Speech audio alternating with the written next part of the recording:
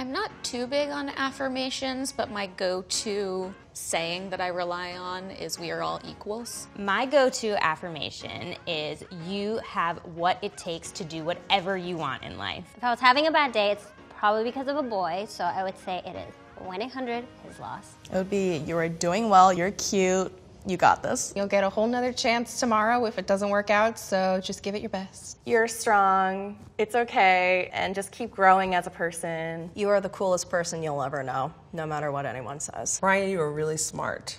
Keep doing what you do. You're a badass bitch and you can do anything because you're a badass bitch. Oh, I like to say I'm not where I was. Thank God I'm not where I was. I would say to myself that I love your curves. I think they're just another extension of your beauty. I would definitely like try to snap some cute pictures. Just kind of like sit and like hang out with myself for a little bit. You go, bitch. I would look in the mirror and say, yes, Cynthia, you got this, girl. You're brave, you're fearless, you're a rock. No one can knock you down.